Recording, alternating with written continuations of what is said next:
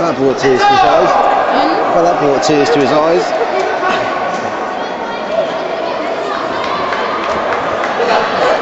Steve?